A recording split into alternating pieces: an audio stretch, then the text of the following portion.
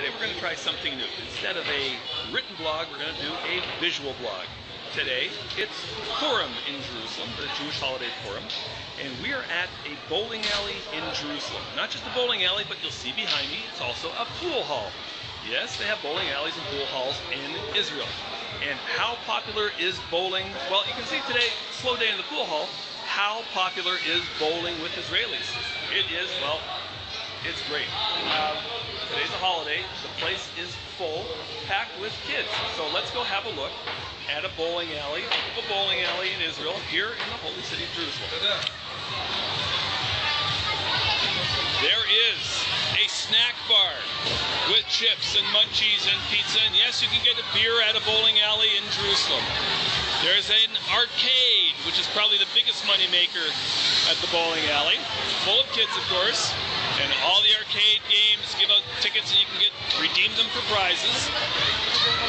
Here's the front counter at the bowling alley, and of course it's loaded with bowling shoes. And here's the bowling alley itself. There are 18 lanes here in the Talpiot Bowling Alley in Jerusalem. It's full. There's a waiting list right now, about uh, about 10 lanes backed up. So as a lane is cleared, there's another family ready to go. Popular with the kids, and here in Israel, they have the modern. Let me just get a little closer to the lane. I'll show you.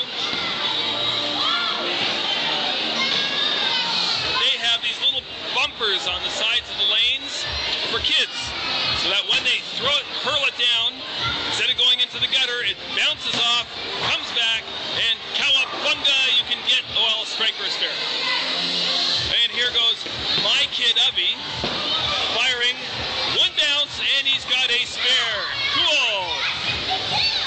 Now, it's a modern bowling alley, so we have modern scoreboards with all the graphics.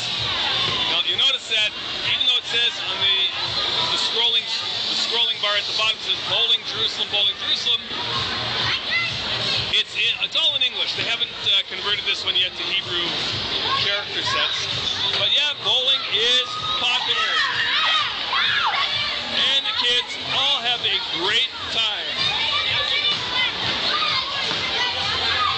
And of course, like any other bowling alley, it's noisy. So I'm going to bid you a farewell here from the bowling alley in Jerusalem.